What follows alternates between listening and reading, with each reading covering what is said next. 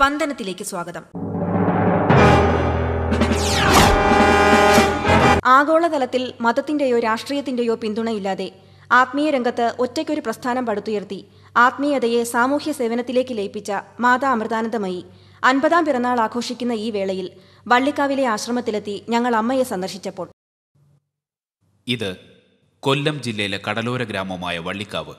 ഇവിടെയാണ് മാതാ അമൃതാനന്ദമയി ആശ്രമമായ അമൃതപുരി സ്ഥിതി ചെയ്യുന്നത്.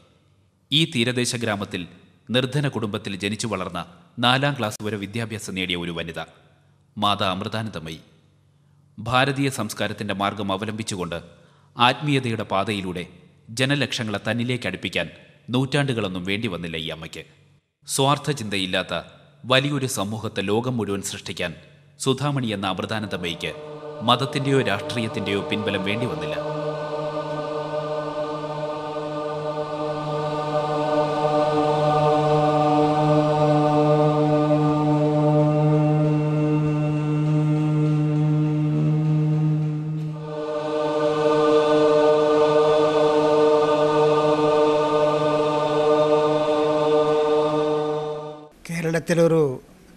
നിശബ്ദമായിട്ടുള്ള ഒരു വിപ്ലവം അടിസ്ഥാനപരമായിട്ടുള്ള വിപ്ലവം നടന്നുകൊണ്ടിരിക്കുകയാണ്. ആ വിപ്ലവത്തിന് നേതൃത്വം നൽകുന്നത് അമ്മയാണ്. സമൂഹത്തിൽ വിദ്വേഷവും ശത്രുതയും വളർത്താതെ ആ നിശബ്ദമായിട്ട് ആ സേവന പ്രവർത്തനം അമ്മ ചെയ്തുകൊണ്ട് വരികയായിരുന്നു. മനുഷ്യൻ ഒറ്റപ്പെട്ട ദ്വീപല്ലല്ലോ ഒരു ശൃംഖലയുടെ കണ്ണിയാണ് നമ്മൾ ചെയ്യുന്ന കർമ്മം അറിഞ്ഞറിയാതെ മറ്റുള്ള സ്വാധീനിക്കുന്നു. അവർ മാറി നമ്മൾ മാറാനൊന്നും ശരിയാവില്ല. അവർ മാറിയില്ലെങ്കിൽ നമ്മൾ മാറിയ വ്യത്യാസം കൊണ്ടുവരാൻ പറ്റും. അതുകൊണ്ട് നമ്മൾ പ്രയത്നിക്കുക അത് അവർ മറ്റുള്ള കണ്ട് മനസ്സിലാക്കുക. അത് മാത്രമേ ഉള്ളൂ.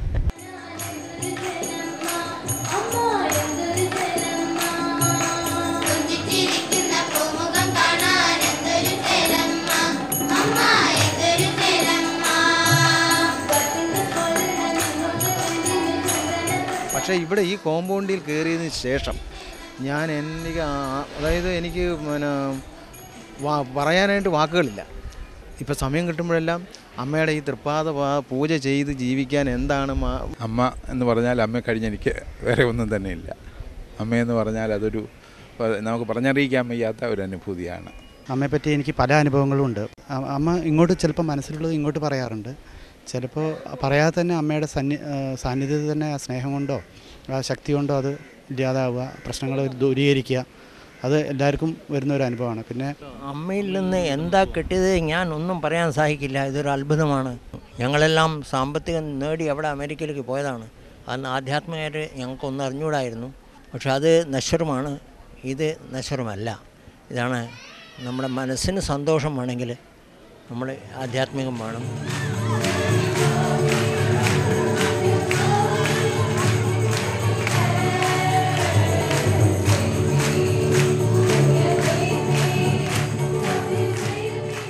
ലൗകിക ജീവിതത്തിന്റെ പ്രയാണത്തിനിടയിൽ ആഗ്രഹിച്ചതൊക്കെ നേടിക്കഴിഞ്ഞിട്ടും എന്തിനോ വേണ്ടി അവരുടെ മനസ്സ് തിരയുകയായിരുന്നു. ഇന്ന് ഇവരിൽ ഭൂരിഭാഗവും സംതൃപ്തരാണ്.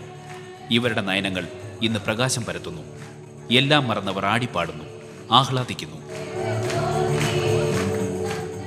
അമാനുഷ്യമായിട്ടുള്ള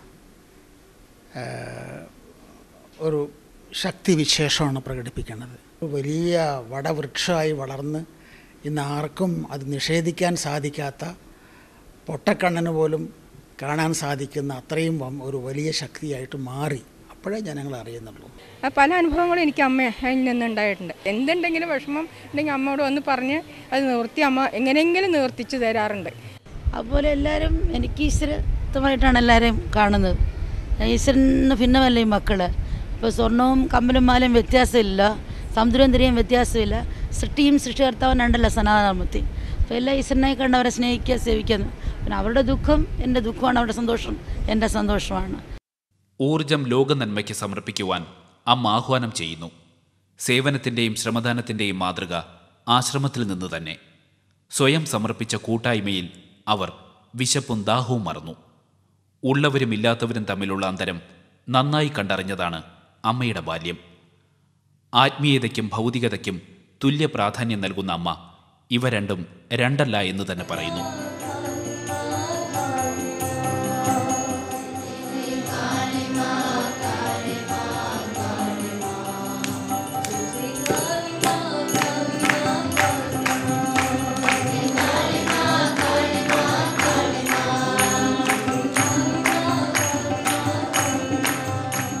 അമ്മയെന്ന് വെച്ചാൽ അമ്മ സ്നേഹമാണ് ജീവിതത്തിന്റെ ലോകത്തിന്റെ നിലനിൽപ്പ് എന്ന് അമ്മ പറഞ്ഞിട്ടുള്ള. ആ സ്നേഹം ഒരു- സാധാരണ എല്ലാ അമ്മയിൽ നിന്ന് കിട്ടുന്ന ആ സ്നേഹം തന്നെയാണ് ഈ അമ്മയിൽ നിന്ന് കിട്ടുന്നത്. അത് ഒരു ശരിക്കും പറഞ്ഞാൽ നമ്മുടെ ജീവിതത്തിന് എല്ലാ രീതിയിലും അടുക്കും ചിട്ടയും പിന്നെ നല്ലൊരു പാതയിലെത്തിക്കാനുള്ള എല്ലാ മാർഗനിർദ്ദേശവും തരുന്നുണ്ട്.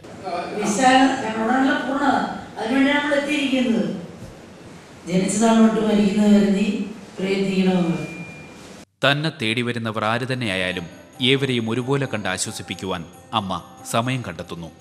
മക്കളുടെ സുഖദുഃഖങ്ങൾ പങ്കുവയ്ക്കുന്നതിൽ അമ്മയ്ക്ക് ജാതിമത ഭേദമില്ല മാതാ അമൃതാനന്ദമയി എന്ന ഈ മലയാളി വനിതയെ കാണാൻ ഇന്ന് ലോകത്തിന്റെ നാനാഭാഗത്തു നിന്നും ആയിരങ്ങളെത്തുന്നു.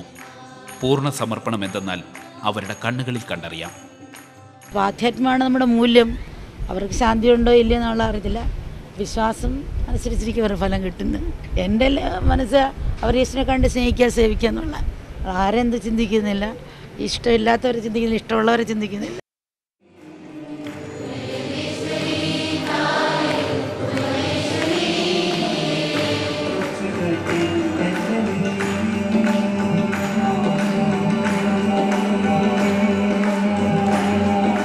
മാതൃസ്നേഹത്തിന്റെ അൻപതാം വർഷം ആഘോഷിക്കുന്ന ഈ വേളയിൽ അമ്മ സന്തോഷവതിയാണ്.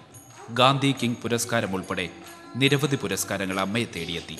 ലോകത്തെ മുഴുവൻ തന്നിലേക്ക് ആകർഷിക്കുന്ന ഈ മഹാശ്ചര്യത്തിന്റെ പൊരുളെന്താണ്? ഒരിക്കലും നിലയ്ക്കാത്ത അമൃതഗംഗാ പ്രവാഹം വിശ്വമാതൃത്വത്തിന്റെ അപ്രമേയമായ ശക്തിപ്രവാഹം.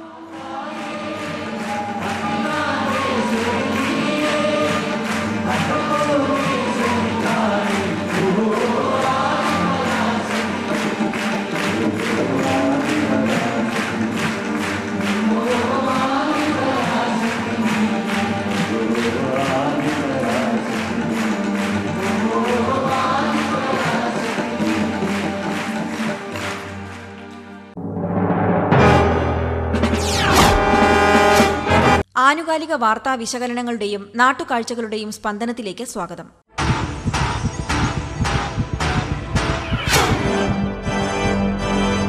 സ്പന്ദനത്തിൽ ആദ്യമായി സംസ്ഥാന സർക്കാരിന് പുതിയ ഒരു തലവേദനയായി മാറിക്കൊണ്ടിരിക്കുന്ന കരിമണൽ ഖനനത്തെക്കുറിച്ചാണ്.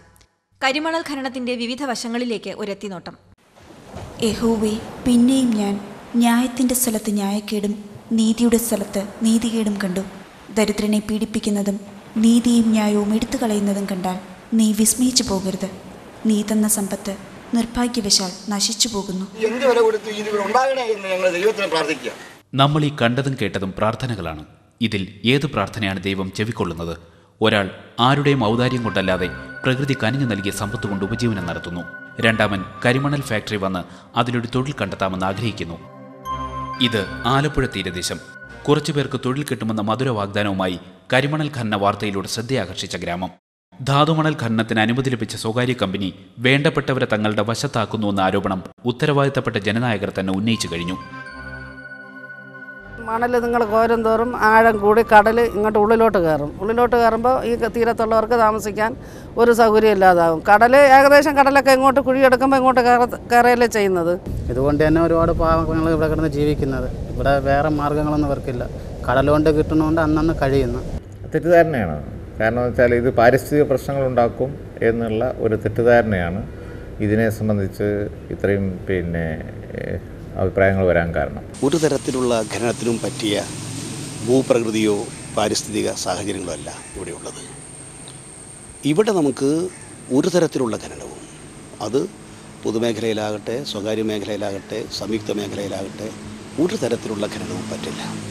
രൂക്ഷമായ കടലാക്രമണം ഉൾപ്പെടെയുള്ള പരിസ്ഥിതി പ്രശ്നം ഉണ്ടാകുമെന്നാണ് കരിമണൽ ഖനനത്തെ എതിർക്കുന്നവർ പറയുന്നത്. ഇപ്പോൾ പ്രതിഷേധവുമായി മുമ്പിൽ നിൽക്കുന്ന ഒരു നേതാവ് മുമ്പ് മന്ത്രിയായിരിക്കുമ്പോൾ ഖന്നത്തിന് അനുമതി കൊടുത്തിരുന്നു എന്ന ആരോപണവും നിലനിൽക്കുന്നു. എന്തായാലും ഈ സംരംഭത്തിനെതിരെ ജനാഭിപ്രായം ശക്തമാവുകയാണ്. വരാൻ സമ്മതിക്കില്ല ഞങ്ങൾ അതിനുള്ള ഇടം കൊടുക്കില്ല മത്സ്യത്തൊഴിലാളികൾ ചത്തുമുടിഞ്ഞാലും ശരി അതിനുള്ള ഇത് കൊടുക്കില്ല ഞങ്ങളുടെ ഉപജീവന മാർഗമാണ് ഇത് കടൽ. അപ്പോൾ ഈ എല്ലാ പ്രോജക്റ്റുകളിലും ഞങ്ങളുടെ സമീപനം അവരെ ബോധ്യപ്പെടുത്തണം എന്നുള്ള ബോധ്യപ്പെടുത്തിയാൽ സഹകരിക്കുന്ന ഒരു വിഭാഗമാണ്. അപ്പോൾ അവരെ അവർക്ക് സംശയങ്ങളുണ്ടെങ്കിൽ അതിന് നമുക്ക് സംശയം ദൂരീകരിച്ചു കൊടുക്കും. ഞങ്ങൾ മാറിപ്പോണെങ്കിൽ ഞങ്ങൾക്ക് ഞങ്ങളുടേതായിട്ടുള്ള രീതി ജീവിതശൈലിക്കുള്ള തരണം. അല്ലാതെ ഞങ്ങൾ എവിടെ പോകാൻ ഞാൻ മത്സ്യത്തൊഴിലാളിയല്ലേ. അത് ജനിച്ചു കൊള്ളുന്ന അവരോടൊപ്പം കടലിൽ പോകുന്നയാളും പോകുന്ന അവിടുത്തെ കാര്യങ്ങൾ അറിയുന്നയാളാണ് അതിലെ ഓരോ തരി മണ്ണും. കരിമണൽ ഖനനത്തിനെതിരെ ഇക്കഴിഞ്ഞ പതിനാറാം തീയതി ആലപ്പുഴ സംഘടിപ്പിക്കപ്പെട്ട മനുഷ്യക്കോട്ടയിൽ രാഷ്ട്രീയ സാമൂഹ്യ സാംസ്കാരിക രംഗത്തെ പ്രമുഖർ സംബന്ധിച്ചിരുന്നു. കേരളത്തിന്റെ കടൽത്തീരത്ത് നൂറ്റി നാൽപ്പത് കോടി ടണ്ണോളം ധാതു മണലാണ് ഉള്ളതെന്ന് കണക്കുകൾ പറയുന്നു. ആയിരത്തി തൊള്ളായിരത്തി തൊണ്ണൂറ്റി മൂന്നിൽ സ്വകാര്യ മേഖലയിൽ കരിമണൽ ഖനനത്തിന് അനുമതി കൊടുത്തിരുന്ന വിവരം വാർത്താമാധ്യമങ്ങൾ ഓർമ്മപ്പെടുത്തുന്നു. പ്രതിഷേധങ്ങൾ ശക്തമായത് പദ്ധതിക്ക് തുടക്കമിട്ടതോടെയാണ്. വിലപ്പെട്ട ധാതുമണൽ ഉപയോഗിച്ചില്ല എങ്കിൽ വൻ നഷ്ടമാണ് ഉണ്ടാകുന്നതെന്ന് ഒരു പക്ഷം പൊതുമേഖലയോ സ്വകാര്യ മേഖലയോ എന്നുള്ളതല്ല വിഷയം. ഖനനം നടന്നാൽ പരിസ്ഥിതി തകരുമെന്ന് മറുപക്ഷം. മറ്റൊരു തൊഴിലില്ലാത്ത ഒരു മേഖലയാണ്. ഇങ്ങനെ ഒരെണ്ണം ഇവിടെ വരുന്നെങ്കിൽ ഈ നാട്ടിലെ അനവധി ചെറുപ്പക്കാർക്ക് എന്തെങ്കിലുമൊക്കെ പണി കിട്ടി ജീവിക്കാൻ മാർഗം ഉണ്ടാകും എന്നുള്ള ധാരണ ഞങ്ങൾക്കെല്ലാം അത് വളരെ താല്പര്യമായിട്ടിരിക്കാം. കടൽ മക്കൾ കടലിന്റെ അടുത്ത് കിടന്നാലേ അവർക്ക് ജീവിതമുണ്ട്. അല്ലെങ്കിൽ എവിടെയും കാട്ടായി കൊണത്ത് അലടുത്ത് കൊണ്ടിട്ട് അവർക്ക് എന്തൊരു ജീവിതം? അത് ഇത്രയും വലിയൊരു വലത്ത് കടലെടുത്തും കായലെടുത്തും കയ്യേറിയും ഒക്കെ പോകുന്നത് ദേശീയ നഷ്ടമാണ്. ഇത് ജനങ്ങളെ ബാധിക്കുന്ന ഒരു ഇഷ്യൂ. ഈ ഗവൺമെന്റ് കൈകാര്യം ചെയ്ത് വഷളാക്കി. വഷളാക്കിയത് മാത്രമല്ല ഗവൺമെന്റിന്റെ ഓരോ നീക്കവും വളരെയേറെ സംശയം അല്ലെങ്കിൽ ദുരൂഹമായ ഒരു സാഹചര്യം നിലനിൽക്കുന്നു എന്നുള്ള സ്ഥിതിവിശേഷം ബലപ്പെടുത്തുന്നതാണ്. എങ്ങനെയാണ് നാം ശരിയിലേക്ക് എത്തിച്ചേരുന്നത്? കാലം വിധിയെഴുത്ത് നടത്തുമെന്ന് നമുക്ക് ആശ്വസിക്കാം. നാടിന്റെ നന്മയ്ക്ക് വേണ്ടി കാലത്തിനൊപ്പം മുന്നേറിയ ഈ കാലടികളെ നമുക്ക് പിന്തുടരാം. സ്വാതന്ത്ര്യം നേടി വർഷങ്ങൾ കഴിഞ്ഞിട്ടും ഒരു നേരത്തെ ആഹാരത്തിന് വേണ്ടി കടലിനെ മാത്രം ആശ്രയിക്കേണ്ട ഇവരുടെ ഭാവിക്ക് വ്യവസായ പുരോഗതി ഭീഷണിയാകില്ലെന്ന് ആശിക്കാം. അതിപാവനമെന്ന് വിശേഷിപ്പിക്കപ്പെടുന്ന വിവാഹം പലർക്കും പേടിസ്വപ്നമാകാൻ കാരണം അതിന്റെ ഭാരിച്ച ചെലവും സ്ത്രീധനവുമാണ്. സ്ത്രീധനത്തിനെതിരായുള്ള നിയമങ്ങൾ നിലവിലുണ്ടെങ്കിലും അവ പാലിക്കപ്പെടുന്നുണ്ടോ?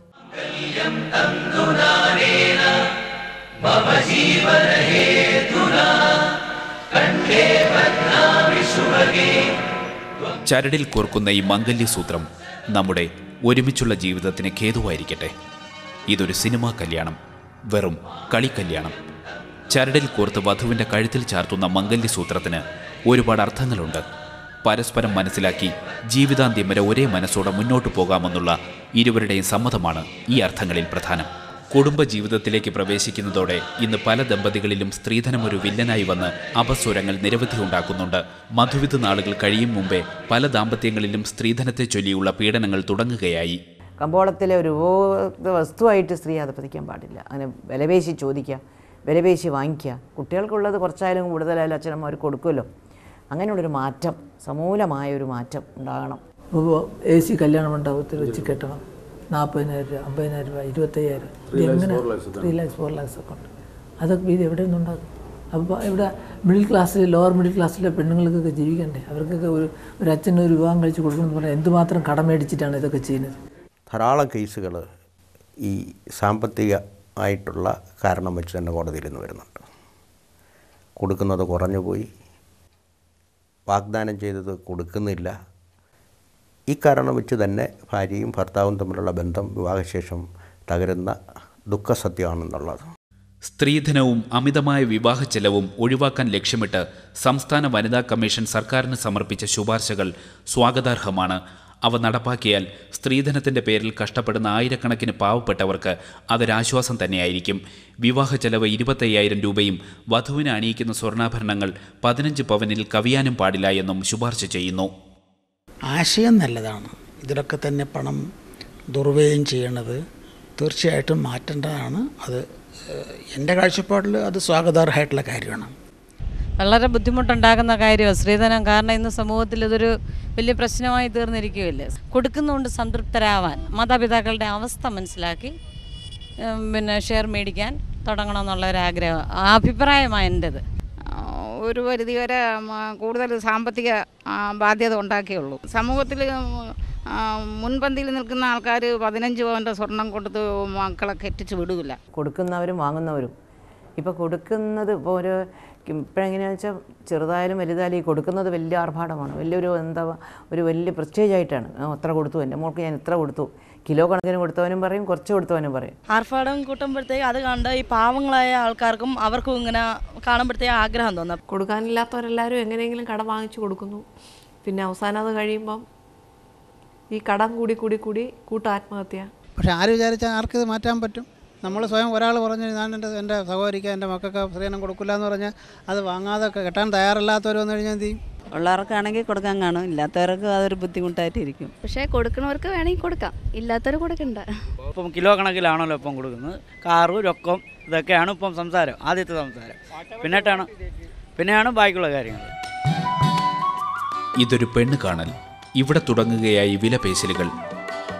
അതിപാവനമെന്ന് വിശേഷിപ്പിക്കുന്ന വിവാഹം പലർക്കും പേടി സ്വപ്നമാകാൻ കാരണം അതിന്റെ ഭാരിച്ച ചിലവും സ്ത്രീധനവുമാണ്. കാശുള്ളവൻ ആർഭാടം കൂട്ടാൻ ആനയും അമ്പാരിയും എഴുന്നള്ളിക്കുമ്പോൾ ഒരു പവൻ സ്വർണത്തിൽ ഒരു താലിമാല തീർക്കാൻ പോലും ബുദ്ധിമുട്ടുന്നവർ നിരവധിയാണ്. സ്ത്രീധനത്തിനെതിരെ നിയമമുണ്ടെങ്കിലും അതിന്റെ പരിരക്ഷ നേടാൻ പലരും തയ്യാറാകുന്നില്ല. ഭാര്യയ്ക്കും ഭർത്താവിനും പരസ്പരം ബഹുമാനം വേണ്ടേ?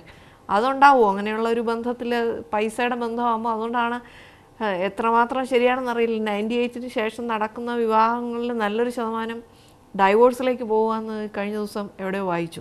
സ്ത്രീക്ക് കൊടുക്കേണ്ട വിലയായിട്ട് നമ്മൾ കാണുമ്പോഴാണ് അവിടെ പ്രശ്നം ഉണ്ടാകുന്നത് പകരം സ്ത്രീക്ക് കൊടുക്കാനുള്ള ഷെയർ എത്രയാണോ അത് കൊടുക്കുന്നതിൽ തെറ്റില്ല. പക്ഷെ ചിലവർ പൊട്ടിക്കരയുന്നുണ്ടാകുമ്പോൾ അവർ ചോദിക്കുന്ന രണ്ട് ലക്ഷം മൂന്ന് ലക്ഷമാണ്.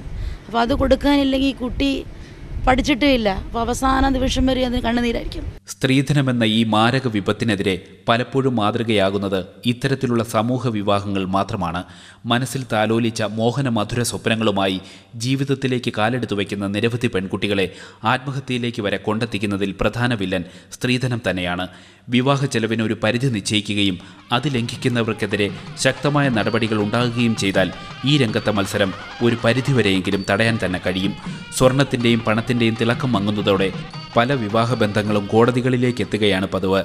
സ്നേഹത്തിലും ലാളിത്യത്തിലും ആത്മബന്ധങ്ങളിലൂടെയുമുള്ള നല്ല വിവാഹങ്ങളെ നമുക്ക് മംഗളാശംസകൾ നേർന്ന് ആശീർവദിക്കാം. നീണ്ടകര വെളുത്തുരുത്തിലെ കൊച്ചുകുട്ടികൾ അമ്പലമുണ്ടാക്കി കളിച്ചത് ആറു വർഷങ്ങൾക്ക് മുൻപാണ്. ഈ കളിയമ്പലം ഇന്ന് നാട്ടുകാരുടെ അഭയകേന്ദ്രമായി മാറിയിരിക്കുന്നു. കുട്ടികൾ നടത്തുന്ന അമ്പലത്തിൽ ഞങ്ങൾ എത്തിയപ്പോൾ. ആരാധനാലയങ്ങൾക്ക് പ്രസക്തിയേറുന്ന കലികാലത്തിൽ ആറു വർഷങ്ങൾക്ക് മുമ്പ് ജയകുമാർ എന്ന പന്ത്രണ്ടുകാരനും കൂട്ടുകാരുമായി ശിവലിംഗവും അമ്പലവും ചെളിയും ഓലയും കൊണ്ട് ഉണ്ടാക്കി കളിച്ചു. കുട്ടിക്കളിയിൽ നിന്നും പിറവിയെടുത്ത ഈ അമ്പലം നീണ്ടകരയിലെ വെളുത്തുരുത്തിൽ ശ്രദ്ധാകേന്ദ്രമാകുന്നു. കായലിലെ ചെളി വാരി ഒരു പ്രതി ശിവലിംഗം ഉണ്ടാക്കി.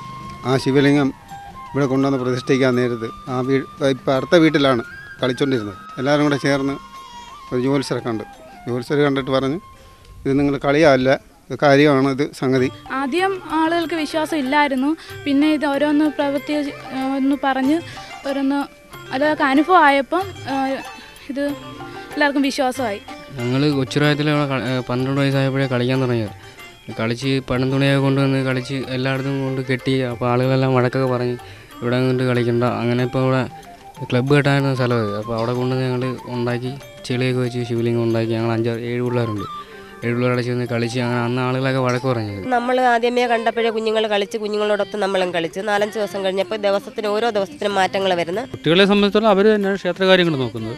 ക്ഷേത്രത്തിന്റെ വരുമാനങ്ങളും അവരുടെ കൈവശം വരുന്നത്. അതുപോലെ പിന്നെ മറ്റ് ഈ പൂജാ കാര്യങ്ങൾ ആ കാര്യം അങ്ങനെയുള്ള കാര്യങ്ങളെല്ലാം അവർക്ക് തന്നെയാണ്. അപ്പോൾ നമുക്ക് അനുഭവം ഉള്ളതാണ് ആദ്യമാദ്യം കുട്ടിക്കളിയെ വിലക്കിയിരുന്ന നാട്ടുകാർ ഒറ്റക്കെട്ടായി ഇന്ന് അമ്പലത്തിന്റെ ഭക്തരായി മാറിയിരിക്കുന്നു. അമ്പലത്തിന്റെ പൂജാതി കർമ്മങ്ങളും ക്ഷേത്ര നടത്തിപ്പുമൊക്കെ കുട്ടികൾ തന്നെയാണ്. പൂജാ സമയങ്ങളിലെ വാദ്യമേളങ്ങളിലും കുട്ടിക്കളിയിലെ നിഷ്കളങ്കത കാണാനാകുന്നു പ്ലാസ്റ്റിക് കന്നാസുകളും പാട്ടയുമൊക്കെയാണ് വാദ്യോപകരണങ്ങൾ. കുട്ടികളുടെ കളി വിളയാട്ടങ്ങളിൽ അനുഗ്രഹം ചൊരിഞ്ഞ് വെളിത്തുരുത്തുകാർക്ക് തുണയായി ശിവശക്തി അമ്പലം പ്രകാശം ചൊരിയുന്നു.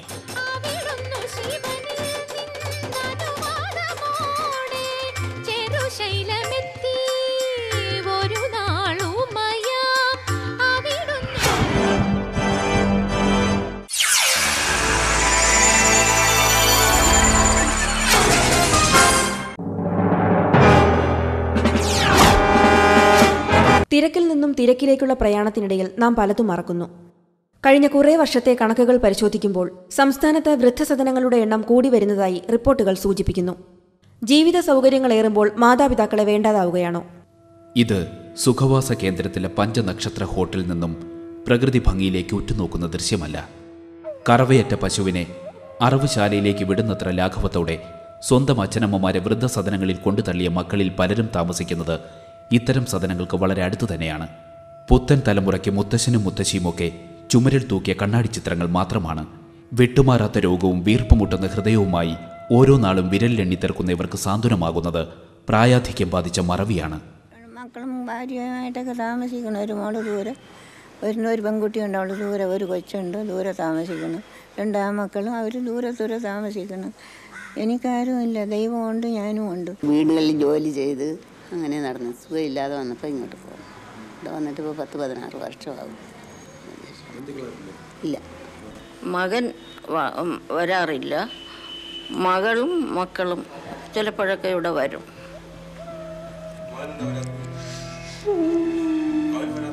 മകൻ വരാത്തത് ആദ്യം ഒരു വലിയ വീടുണ്ടായിരുന്നു. അത് വിറ്റ് ഓഹരി കൊടുത്തു.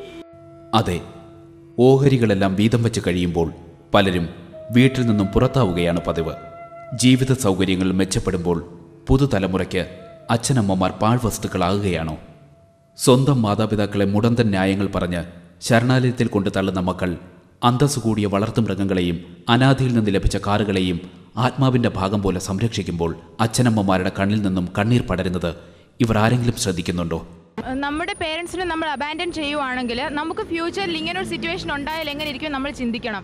നമ്മളെ ഇത്രയും നാളും ലുക്ക് ആഫ്റ്റർ ചെയ്തവരല്ലേ അവർ ഇത്രയും നമുക്ക് വേണ്ടി ഡിഫിക്കൽട്ടീസ് ഒക്കെ സഹിച്ച് നമ്മളെ ഇങ്ങനെ നോക്കി വളർത്തിയിട്ട് നമ്മൾ അവരെ ഓൾഡ് ഏജ് ഹോംസിലൊക്കെ ഉപേക്ഷിക്കുന്നത് വളരെ കഷ്ടമാണ്. കഷ്ടം തന്നെയാവാം. എന്നാലും പലർക്കും പറയാൻ പല ന്യായങ്ങളുമുണ്ട്. എന്തായാലും ഒരു മനുഷ്യായുസ് മുഴുവൻ ജീവിതത്തോട് മല്ലടിച്ച് സ്വന്തം മക്കളെ വളർത്തി വലുതാക്കുന്ന മാതാപിതാക്കൾ ഒരു ഘട്ടത്തിൽ കറിവേപ്പിലേക്ക് തുല്യമാകുന്നു എന്നതിന് ഉദാഹരണമാണോ വൃദ്ധസദനങ്ങൾ? അവരുടെ വീട്ടിൽ ഞാൻ ജോലി കൊണ്ട് വയ്യാതായി ഇവിടെ വന്നു. വെളുപ്പാങ്കാലം അഞ്ചു മണിക്ക് കഴിച്ച ഒരു ചായ ഇട്ട് തരുമോ മക്കൾ നേരെ വിളിക്കട്ടെ ഇത് ആഹാരമൊക്കെ കൊള്ളാം. പിന്നെ നമുക്ക് ചൂടുവെള്ളമുണ്ട് പിന്നെ നമുക്ക് വേറെ ശല്യമൊന്നുമില്ല ഇവരിൽ ചിലരെങ്കിലും സ്വന്തം വീട്ടിലേക്കാൾ മനസമാധാനത്തോടെയാണ് ഇവിടെ കഴിയുന്നത്. ഇവർ അമ്മമാരല്ല അടുത്തവരെല്ലാം അടുത്തു തന്നെയുള്ള അഭയാർത്ഥികളാണ്. ഒറ്റപ്പെടലിന്റെ വേദന സഹിച്ചുകൊണ്ട് പുറത്തൊരു ലോകമുണ്ടെന്നും അതിൽ ഞങ്ങളുടെ മക്കൾക്ക് ആപത്തൊന്നും വരാതെ കാത്തുകൊള്ളണമെന്നും പ്രാർത്ഥിക്കുകയാണ് ഈ അമ്മമാർ. ഇനി ഈ കൂപ്പുകൈ മാത്രം ഈ ചുണ്ടനക്കം മാത്രം. ഇതൊരപേക്ഷയല്ല മോചനത്തിനായുള്ള കാത്തിരിപ്പാണ് നിത്യമോചനത്തിനായി.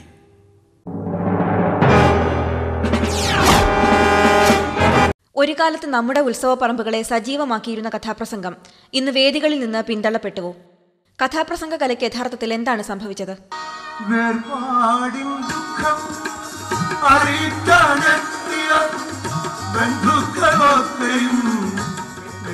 മുൻകാലങ്ങളിൽ ക്ഷേത്രങ്ങളിൽ നടത്തിവന്നിരുന്ന ഒരു കലാസൃഷ്ടിയാണ് ഹരികഥ. ദേവീ ദേവന്മാരുടെ പുരാണ കഥകൾ കീർത്തന രൂപത്തിൽ അവതരിപ്പിക്കുന്ന ഭക്തി സാന്ദ്രമായ ഒരു കലാസൃഷ്ടിയായിരുന്നു ഹരികഥ. ഇത് പിൽക്കാലങ്ങളിൽ കഥാപ്രസംഗമായി മാറുകയായിരുന്നു. കുറച്ചുകാലം മുൻപ് വരെ ജനസഹസ്രങ്ങൾ കഥാപ്രസംഗം കാണാനായി തടിച്ചു കൂടിയിരുന്നെങ്കിൽ ഇന്ന് അതൊക്കെ ഒരു പഴം കഥയായി മാറിയിരിക്കുകയാണ് വൺമാൻ ഷോ ആണ് കഥാപ്രസംഗം. ഇപ്പോൾ എല്ലാവരും ബിസിയാണ്. ആർക്കും രണ്ടര മണിക്കൂർ ഒരാൾ മാത്രം പറയുന്ന കാര്യങ്ങൾ കേട്ടുകൊണ്ടിരിക്കാനൊരു ബുദ്ധിമുട്ടുണ്ട്. അപ്പോൾ ഈ നാടകം ആളുകൾ കൂടുതൽ ഇഷ്ടപ്പെടുകയും ഒരു ദൃശ്യമാധ്യമം എന്ന നിലയിൽ നാടകത്തെ ഭയങ്കരമായി കളർഫുൾ ചെയ് ആക്കി അവതരിപ്പിക്കുവാൻ സംഘാടകർ നാടക സമിതിക്കാർ ശ്രമിക്കുകയൊക്കെ ചെയ്തപ്പോൾ നാടകത്തിന് വലിയ മാർക്കറ്റായി. കുറേ കാരണം പിന്നെ കഥാപ്രസംഗം പറയാൻ കഴിവില്ലാത്തവരും ഈ രംഗത്ത് വന്നിരുന്നും കൊണ്ട് വേണ്ടാത്ത വേണ്ടാത്ത സംസാരങ്ങളൊക്കെ ഉണ്ടല്ലോ. അതൊക്കെ പറയുമ്പോഴത്തേക്ക് ആളുകൾ പിന്നെ എല്ലാവരെയും അതുപോലെ താരതമ്യപ്പെടുത്തി കളയും. ഒരു കഥാപ്രസംഗം നാടകം കാണുന്നില്ല ആഘോഷത്തെക്കാൾ സ്പഷ്ടമായിട്ടും വ്യക്തമായിട്ടും ഒരു പിൻ ഡ്രോപ്പ് സൈലന്റ് കേട്ടുകൊണ്ടിരിക്കുകയാണ് ഒരു കുഴപ്പമില്ല നിർത്താൻ ഒരു നാടവണ്ടി വന്ന് നിർത്താൻ പറയുന്നില്ല. ഞങ്ങൾ അന്തസ്സായ കഥാപ്രസംഗം തന്നുകൊണ്ടിരിക്കുക പക്ഷേ പ്രോഗ്രാംസ് ഇല്ല. ചിത്രപ്പണികളാൽ കുംഭഗോപുരങ്ങൾ ഒറ്റയാൾ പട്ടാളത്തിന്റെ വാചക കസർത്തുകൾ കൗതുകത്തോടെയും ആവേശത്തോടെയും ആസ്വദിച്ചിരുന്നവർ ഇന്ന് ഈ കലാസൃഷ്ടിയെ കൈയൊഴിഞ്ഞ മട്ടാണ്. ഓരോ വർഷവും മുന്നൂറിലധികം വേദികൾ കിട്ടിയിരുന്നവർക്ക് ഇന്ന് നാൽപ്പത് സ്റ്റേജുകൾ പോലും കിട്ടുന്നില്ല. V. Sambasivan Kedamangalam Sadanandan K. K. Vadyar തുടങ്ങിയ പ്രശസ്തരായ കഥാപ്രാസംഗികരുടെ ചുവട് പിടിച്ച് ധാരാളം പേർ രംഗത്തു വന്നു. കഥകളിലുണ്ടായ രാഷ്ട്രീയത്തിന്റെ അതിപ്രസരവും അവതരണ രീതിയിലെ അശ്ലീല ചുവയും ഈ കലാരൂപത്തിന് ഇരട്ടടിയായി. കഥ പറയുന്നവരെ ഒരു കാലത്ത് മാർക്സിസ്റ്റ് പാർട്ടിയാണ് സഹ- സഹായിച്ചുകൊണ്ടിരുന്നത്. ഇപ്പം മാർക്സിസ്റ്റ് പാർട്ടിക്കും ഈ ഖാദികരെ വേണ്ട. അവരെ ചാനലിൽ അവരെ സംബന്ധിച്ചുള്ള യാതൊന്നിലും ഈ കഥാപ്രസംഗക്കാരെ വിളിക്കുന്നില്ല വിളിക്കുന്നില്ല. അവർ സഹകരിക്കുന്നില്ല. വളരെ കഷ്ടസ്ഥിതിയിലാണ്. മുപ്പത്തിരണ്ട് വർഷം കൊണ്ട് തുടങ്ങിയ പരിപാടിയാണ്. ഒരു നേട്ടവും ഉണ്ടായിട്ടില്ല. അപ്പോൾ കെ പി എസ് സിയുടെ നാടകം പോലെ തന്നെ കഥാപ്രസംഗവും ഒരു കാലഘട്ടത്തിൽ ഇവിടുത്തെ ഒരു മന്ത്രിസഭയെ കൊണ്ടുവരുന്നതിന് വേണ്ടി ഏറ്റവും കൂടുതൽ സഹായിച്ചിട്ടുള്ളതാണ്. ഉത്സവപ്പറമ്പിൽ വരുന്ന ആളുകൾ പല വിഭിന്നമായ രാഷ്ട്രീയ ചിന്താഗതിക്കാരുള്ളതാണ്. എല്ലാവരുടെയും കാശാണ് ഈ കലാരൂപം അവതരിപ്പിക്കാൻ ചെല്ലുന്ന ആളിന് കൊടുക്കുന്നത്. അപ്പോൾ അവിടെ ഒരു കമ്മിറ്റിക്കകത്തൊരു പ്രശ്നം ഉണ്ടാകുമ്പോൾ സ്വാഭാവികമായിട്ടും കഥാപ്രസംഗക്കാരെ വിളിക്കുമ്പോൾ ആദ്യമായിട്ട് പറയും. ദയവ് ചെയ്ത് ഇപ്പോൾ സാമ്പസാറിനെയാണ് വിളിച്ചാൽ "ഏഹ് സാർ രാഷ്ട്രീയം പറയരുത്. പക്ഷേ അദ്ദേഹത്തിന് പാർട്ടിയോടുള്ള പ്രതിബദ്ധത പലപ്പോഴും അദ്ദേഹത്തിന്റെ ഒരു ഒരു ഒരു ഹരമായി തന്നെ രാഷ്ട്രീയം ഇടതുപക്ഷ രാഷ്ട്രീയത്തിന്റെ വളർച്ചയ്ക്ക് നാടകത്തിനൊപ്പം കഥാപ്രസംഗവും നൽകിയിട്ടുള്ള സംഭാവന ഒരിക്കലും തള്ളിക്കളയാനാവില്ല തന്നെ. ജനഹൃദയങ്ങളിൽ സ്ഥാനമുറപ്പിച്ച് അധികാരത്തിന്റെ സിംഹാസനം കരസ്ഥമാക്കാൻ ഏറെ സഹായിച്ച ഈ കലാരൂപത്തിന് ശാപമായതും കക്ഷി രാഷ്ട്രീയമാണത്രേ. തല്ലുകൊള്ളാൻ ചെണ്ടയും പണം വാങ്ങാൻ ചെണ്ടക്കാരനുമെന്ന അലിഖിത നിയമത്തിൽ കുരുങ്ങിപ്പോയ കഥാപ്രസംഗം കഷ്ടകാലത്തിൽപ്പെട്ടതിന് ഇനിയും കാരണങ്ങളുണ്ട്. അവരാണ് ഈ പാർട്ടിക്കാരാണ് ഇവരെ വളർത്തുന്നത്. കാരണം ഇപ്പം ഒരു പരിപാടി നടത്തുന്നതിന് ഇത്ര രൂപ സമ്മതിക്കും. ഇത്ര രൂപ സമ്മതിയിൽ പകുതി അവർക്ക് കൊടുക്കും. അപ്പോൾ അവരുടെ പേരങ്ങനെ വളർന്ന് വളർന്ന് വരും. അതായത് കിടാമംഗല Sadanandan V Sambasivan K K Vadyar ഇങ്ങനെയൊക്കെയുള്ള ഗാധികന്മാരുടെ കഥാപ്രസംഗങ്ങൾ എത്ര മൈൽ ദൂരെ ഉണ്ടെങ്കിലും ഞാൻ ഉൾപ്പെടെയുള്ള ആൾക്കാർ നടന്നു പോയി കാണുമായിരുന്നു. പക്ഷേ അത്ര വളരെ കലാഭംഗിയോടെ അവതരിപ്പിച്ചിരുന്നൊരു കാലഘട്ടമായിരുന്നു നമ്മുടെ നിത്യ അനുഭവങ്ങളും നിത്യ സംഭവങ്ങളാണ് നമ്മൾ സ്റ്റേജിൽ നിന്നുകൊണ്ട് പറയുന്നത്. അതുകൊണ്ടാണ് ഇപ്പോൾ ചിലപ്പോൾ തന്നെ ചിലപ്പോൾ നിങ്ങൾ ചോദിച്ച വളരെ ശരിയാണ്. ബി ജെ പിക്കാർ ചിലപ്പോൾ എന്നോട് തന്നെ പറയാറുണ്ട്. ദയവായിട്ട് കഥാപ്രസംഗം മാത്രമേ പറയാവൂ രാഷ്ട്രീയം പറയരുത്. വളർന്നു പന്തലിച്ചവരും പിച്ചവച്ച് തുടങ്ങിയവരുമൊക്കെ ചേർന്ന് ശ്വാസം മുട്ടിച്ച് ഇഞ്ചിഞ്ചായി ഈ കലയെ കൊല ചെയ്തുവെന്ന് തുറന്നു പറയുന്നതിൽ ബന്ധപ്പെട്ട കലാകാരന്മാർക്ക് ഏക മനസ്സാണ്. എന്നെങ്കിലും ചിലപ്പോൾ ഇനിയും നല്ല സമയമുണ്ടാകുമെന്ന പ്രതീക്ഷയോടെ ഒരു നല്ല നാളേക്ക് വേണ്ടി കാത്തിരിക്കുന്ന കലാകാരന്മാർക്ക് നല്ല ഭാവി ഉണ്ടാകട്ടെ എന്ന് ആശംസിച്ചുകൊണ്ടും കേരളത്തിൽ ഒരു രാഷ്ട്രീയ പാർട്ടിയുടെ പിൻഗാമികൾ മാത്രമല്ല ഉള്ളതെന്ന് വേണ്ടപ്പെട്ടവരെ ഓർമ്മിപ്പിച്ചുകൊണ്ടും നമുക്ക് ഈ കഥ ഇവിടെ അവസാനിപ്പിക്കാം. ജയ് ഹിന്ദ്. പാടാറുള്ള പ്രാർത്ഥനയും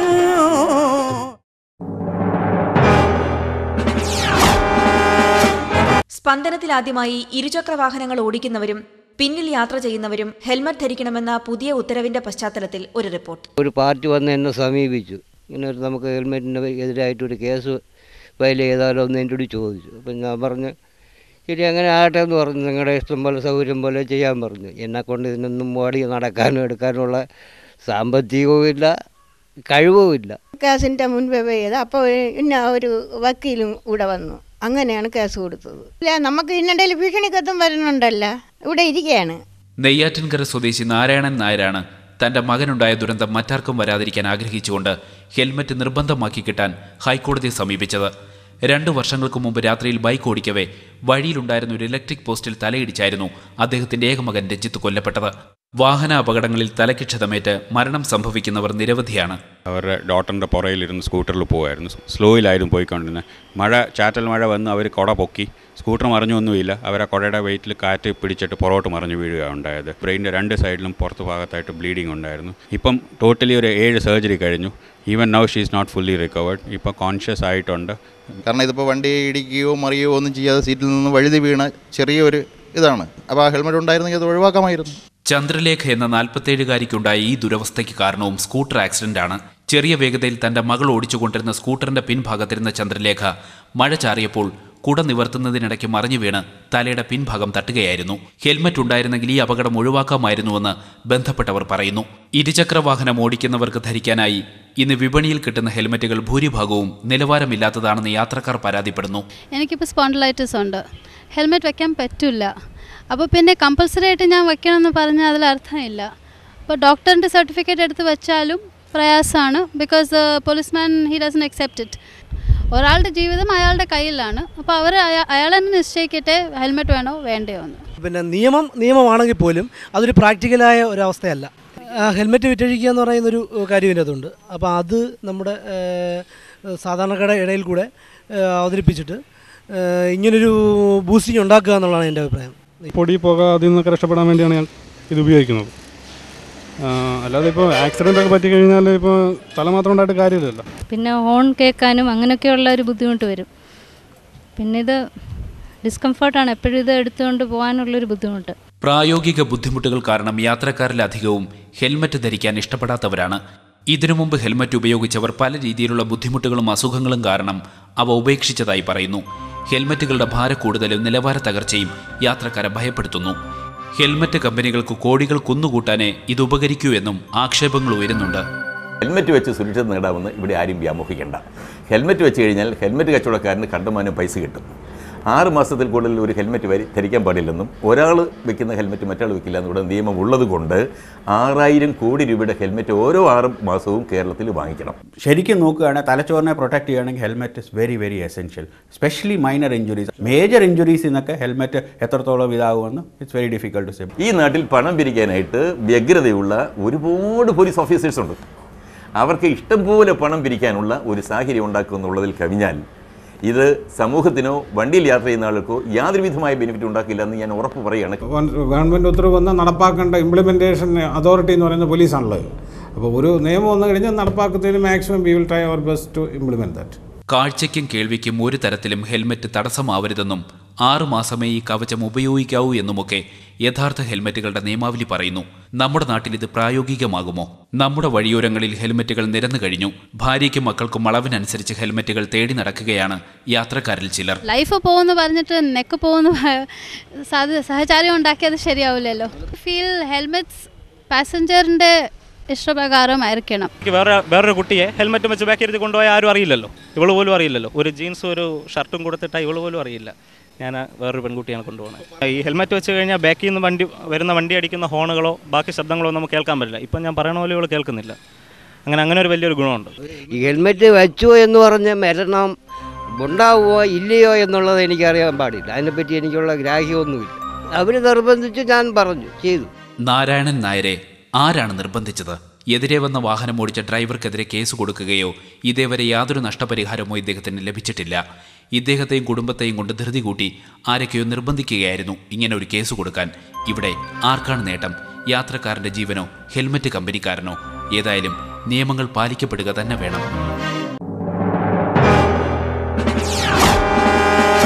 ചങ്ങനാശ്ശേരിയിലെ ഒരു കോളേജിൽ കുട്ടികൾക്ക് നാടൻ പാട്ടുകൾ പഠിപ്പിക്കുന്നത് അധ്യാപകരല്ല മറിയാമ്മ ചേട്ടത്തിയാണ്. പ്രൈമറി വിദ്യാഭ്യാസം പോലും പൂർത്തിയാക്കിയിട്ടില്ലാത്ത മറിയാമ്മ ചേട്ടത്തി നാടൻ പാട്ടുകൾക്ക് പുറമെ നാട്ടറിവുകളും കുട്ടികൾക്ക് പകർന്നു കൊടുക്കുന്നു.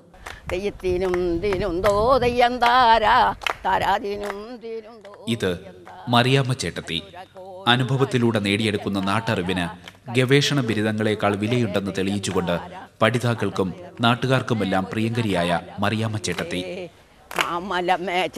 കൊയ്യണ ചമ്പക ചുണ്ടു പഴുക്കണ കാലത്തിലെ കൊയ്യാറായി കാവലിരുന്നി തലമുറകളായി പകർന്നു കിട്ടിയ നാടൻ പാട്ടുകളും നാട്ടറിവുകളും യുവതലമുറയ്ക്ക് പകർന്നു കൊടുക്കുന്നത് മറിയാമ്മ ചേട്ടത്തിക്ക് ഒരു ആവേശമാണ് മറിയാമ്മ ചേട്ടത്തെ പാടെന്ന് പറയുമ്പോഴത്തേന് സാർമാരൊക്കെ പഠിപ്പിക്കുന്നതിൽ വളരെ നല്ലതായിട്ട് നാടൻ പാടിനെ പറ്റി കൂടുതലായിട്ട് നമുക്ക് അറിയാൻ പറ്റുമല്ലോ? നാട്ടറിവുകളെ കുറിച്ചും ഒക്കെ ഒത്തിരി അറിയാവുന്ന ഒരു ഞങ്ങളുടെ സ്വന്തം ചേട്ടത്തിയാണ് മറിയമ്മ ചേട്ടത്തി. പഴയ ഈ ചരിത്രത്തെ പറ്റികൾ പറ്റിയൊക്കെ ഒത്തിരി ധാരാളം അറിയാവുന്നതാണ് മറിയമ്മ ചേട്ടത്തിക്ക്. ഞങ്ങളതെല്ലാം കൂടുതൽ പറഞ്ഞു തരുകയൊക്കെ ചെയ്യുന്നുണ്ട്. കൂടുതൽ നാടൻ പാട്ടുകളൊക്കെ ഉണ്ട് അതിൽ നിന്നൊക്കെ കൂടുതൽ അറിവ് നമുക്ക് ലഭിക്കാൻ സാധിക്കുന്നു. മറിയാമ്മ ചേട്ടത്തിയെ സംബന്ധിച്ചെന്ന് പറയുമ്പോൾ ഞങ്ങൾക്ക് പഴയ കാലത്തെ ഒത്തിരി ഒത്തിരി അറിവുകൾ നാട്ടറിവുകൾ ഞങ്ങൾ ഞങ്ങൾക്ക് അറിയാൻ സാധിക്കുന്നുണ്ട്. ഞാൻ ഇന്ന് മണ്ണേ ഇറങ്ങി പോകുന്ന അയ്യോ പറ്റ നിങ്ങൾ എന്നതാ പഠിക്കുന്നത്? അതാ ഞാൻ പറഞ്ഞത്. കണ്ണിന് കാത്തെന്ന് പറഞ്ഞാൽ എന്നതാ? എല്ലോ അറിയാവോ? നിങ്ങൾ എം എക്കാരല്ലേ? നാല് പെണ്ണുങ്ങളുണ്ട്. ഏ കടക്കണ്ണ് കറുത്തത്. അന്ന നട ചുരുണ്ട മുടി കുയിലിന്റെ സ്വരം. ഇതാണ്. നല്ല പെണ്ണുങ്ങളാണത്. അതാണ് പറഞ്ഞത്. കണ്ണിന് കറുത്തത് വിദ്യാർത്ഥികളിൽ ഭൂരിഭാഗവും മറിയാമ്മ ചേട്ടത്തിയുടെ ആരാധകരാണ്. ഒരു സ്വീപ്പറായി ഇവിടെ എത്തിയ ഇവരെ കോളേജ് അധികൃതർ ഫോക്ലോർ കൺസൾട്ടന്റ് പദവി നൽകി ആദരിച്ചത് ഏതാനും വർഷങ്ങൾക്ക് മുൻപാണ്. സംഭവ പുരാവൃത്തം അത് മുഴുവൻ മറിയാമ്മ ചേട്ടത്തിക്ക് വള്ളിപുള്ളി വ്യത്യാസമില്ലാതെ അറിയാമായിരുന്നു. പിന്നീട് ഞങ്ങൾ ഞങ്ങളുടെ മലയാള വിഭാഗത്തിൽ ഫോക്ലോർ കൺസൾട്ടന്റ് എന്നൊരു സവിശേഷ പദവി കൊടുത്ത് മറിയാമ്മ ചേർത്തിയെ ഞങ്ങൾ ആദരിക്കുകയും. ഇപ്പം പാടുന്ന പാട്ടെല്ലാം നാടോടി പാട്ടാണ് അതൊന്നും എനിക്ക് വേണ്ട. എനിക്ക് ഇത് മനസ്സുണ്ട് ഇഷ്ടമുള്ളവർ മതി. പിന്നെ എനിക്ക് കുഞ്ഞുങ്ങളോട് വളരെ സ്നേഹമാണ് ഞാനൊരു പ്രാർത്ഥന പോലും ചെയ്യുന്നുണ്ട് വൈകിട്ട്. സാറന്മാരും കുട്ടികളും ഇവിടുന്ന് ഒരു കുഞ്ഞിനെയും കർത്താവെ നീ കണ്ണുനീരോട് കൂടി വിടരുത്. വർഷങ്ങൾക്ക് മുൻപേ തന്റെ ഏക മകൻ മരിച്ച ദുഃഖത്തോടെ ഇരിക്കുന്ന അവസരത്തിലാണ് കുട്ടികളെ പാട്ട് പഠിപ്പിക്കുന്നതിൽ മറിയാമ്മ ചേട്ടത്തി ആശ്വാസം കണ്ടെത്തിയത്. തന്റെ സ്വകാര്യതകളും ദുഃഖങ്ങളും ഉള്ളിലൊതുക്കി പുത്തൻ തലമുറയ്ക്ക് നാട്ടറിവുകളും നാടൻ പാട്ടുകളും പകർന്നു കൊടുക്കുന്നതിനോടൊപ്പം ഇവിടുത്തെ ഓരോ വിദ്യാർത്ഥികൾക്കും നല്ല ഭാവി ഉണ്ടാകണേ എന്ന് മറിയാമ്മ ചേട്ടത്തി ആത്മാർത്ഥമായി പ്രാർത്ഥിക്കുന്നു. മറിയാമ്മ ചേട്ടത്തിയെ തേടി അർഹതയ്ക്കുള്ള അംഗീകാരങ്ങൾ ഇനിയും എത്തട്ടെ എന്ന് നമുക്ക് ആശിക്കാം.